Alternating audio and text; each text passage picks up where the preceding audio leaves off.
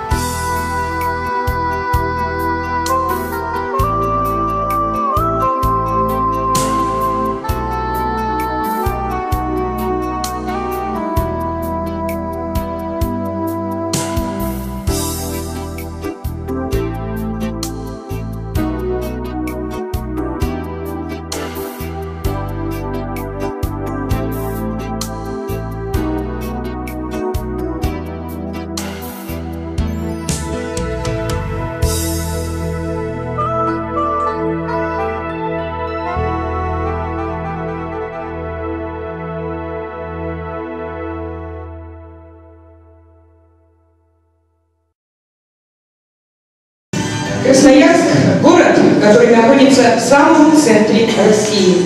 И тем не менее Красноярск и красноярцы тесно связаны с военно-морским флотом. Во-первых, потому что э, рядом протекает прекрасный Енисей, который называют «Брат океана». Во-вторых, благодаря подвигу советских моряков, которые они проявили в боях у острова Диксон в годы Великой Отечественной войны. В крае проживает более 80 тысяч моряков. И, естественно, Дом офицеров не мог пройти мимо такого важного события. Сегодня мы открываем выставку «Российский флот по волнам истории».